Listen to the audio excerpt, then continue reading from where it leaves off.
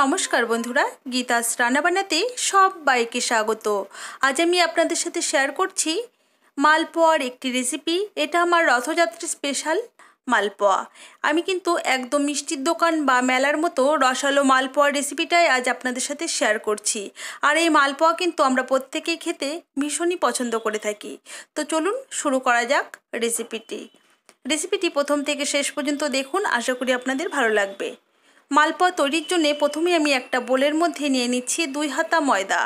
আমি কিন্তু এখানে এরকম একটা হাতা ব্যবহার করেছি, মাপ নেওয়ার জন্য আপনারা কিন্তু যে কোনো পাত্রেই মাপটা নিতে পারেন। আর এই পাত্রের মানে এই হাতাতে দুই হাতা ময়দা নিয়েছি আর এক হাতা সুজি দিয়ে দিচ্ছি। অর্থাৎ যতটা ময়দা নেবেন তার অর্ধেক নিতে হবে সুজি। এবার এর মধ্যে দিয়ে দিচ্ছি অল্প একটু লবণ। খুবই সামান্য পরিমাণে দিয়েছি। দিচ্ছি এক টেবিল চামচ পরিমাণে চিনি। আর এখানে আমি এক টিস্পুন নিয়েছি মৌরি। এই মৌরিটাকে আমি একটু হামাল দিস্তাতে মানে হাফ ডাস্ট করে নিচ্ছি, ভেঙে নিচ্ছি একটু। এবার এই মৌরিটাও এর মধ্যে দিয়ে দিলাম। সমস্ত শুকনো উপকরণগুলোকে আমি একটু মিশিয়ে নিচ্ছি। আর এখানে কিন্তু আমি কাঁচা মৌরিরই ব্যবহার করেছি। মৌরিটাকে কিন্তু আমি রোস্ট করে নিইনি। আর এখানে নিয়েছি এক কাপ পরিমাণে দুধ। দুধটাকে আমি আগে থেকে জাল দিয়ে রুম টেম্পারেচারে এনে তারপর ব্যবহার করছি। অল্প অল্প করে দুধ, এই ময়দা সুজির মধ্যে দিয়ে দিয়ে আমাদের একটা ব্যাটার তৈরি করতে হবে। তবে একবারে কিন্তু বেশি পরিমাণে দুধ দিয়ে দেওয়া যাবে না, তাহলে কিন্তু ব্যাটারটা পাতলা হয়ে যেতে পারে। সেই জন্যে আমাদের অল্প অল্প করে দুধ মেশাতে হবে আর ব্যাটারটা তৈরি করতে হবে। আপনারা কিন্তু দুধের পরিবর্তে জলেরও ব্যবহার করতে পারেন। মেলা কিংবা মিষ্টির দোকানে কিন্তু ওরা দুধের ব্যবহার করে না, ওরা কিন্তু জল দিয়েই এই ব্যাটারটা তৈরি করে। এবার খুব ভালো করে কিন্তু আমাদের মিশিয়ে নিতে হবে যাতে এর মধ্যে কোনো লামস বা দলা না থাকে। সেদিকে কিন্তু আমাদের খেয়াল রাখতে হবে। খুব সুন্দর করে আমাদের এটা মিশিয়ে নিতে হবে। এই ব্যাটারটা তৈরি করতে কিন্তু এক কাপ দুধ পুরোটাই লেগে গেছে।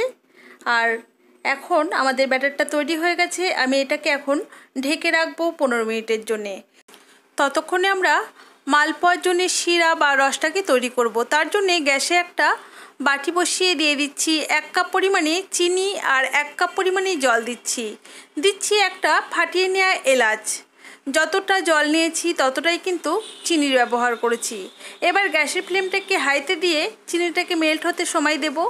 চিনিটা মেল্ট হয়ে যাওয়ার পর আমি পাঁচ মিনিট সময় ধরে ফুটিয়ে নিয়েছি মিডিয়াম ফ্লেমে। এবার আমি গ্যাসের ফ্লেমটাকে অফ করে দেব তাহলে কিন্তু তৈরি হয়ে গেল আমাদের চিনির শিরা বা চাসনি বা রস। এবার আমি এই রসটাকে ঢেকে রাখব। অপরদিকে গ্যাসে একটা কড়াই বসিয়ে দিয়ে দিয়েছি পরিমাণ মতো রিফাইন্ড অয়েল। এদিকে আমাদের ব্যাটারটা কিন্তু একদম সেট হয়ে গেছে। দেখুন, আগের থেকে কিন্তু অনেকটাই ঘন হয়ে গেছে। এটা কিন্তু একদম পারফেক্ট ব্যাটার। এবার এক মিনিট সময় ধরে এটাকে ফেটিয়ে নেব। আপনাদের কাছে যদি বেশি ঘন মনে হয়, সেক্ষেত্রে কিন্তু এই সময় আপনারা এক চামচ দুধ বা জল মিশিয়ে নিতে পারেন। এক মিনিট মতো ফেটিয়ে নেওয়ার পর অল্প একটু ব্যাটার তেলের মধ্যে দিয়ে দিলাম তেলটা চেক করার জন্যে। তেলটা যদি গরম হয়ে যেত, তাহলে কিন্তু সঙ্গে সঙ্গে ব্যাটারটা উপরে উঠে আসতো, ভাসতো। এই যে এতক্ষণে কিন্তু তেলটা গরম হয়েছে। এবার আমি এক হাতা ব্যাটার নিয়ে তেলে দিয়ে দিলাম।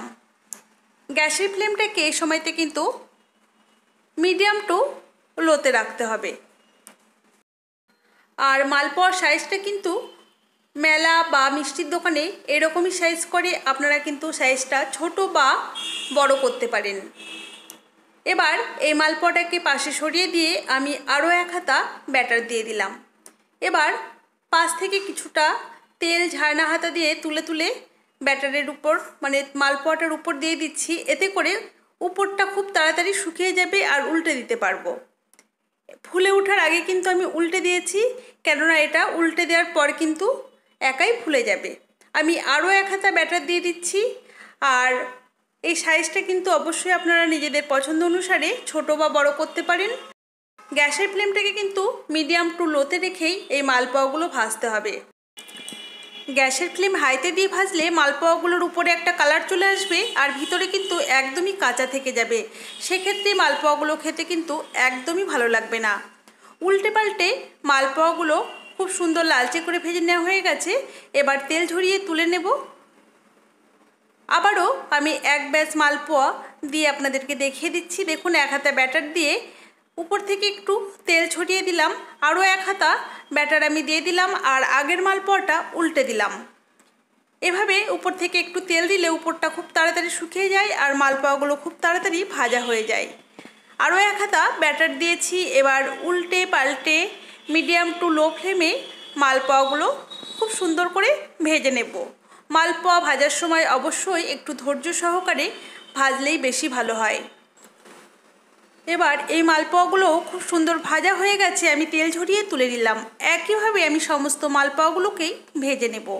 এবার যে মালপোয়াগুলো আমার ভেজে নেওয়া হয়ে গেছে, সেগুলো এবার রসের মধ্যে দিয়ে দেব।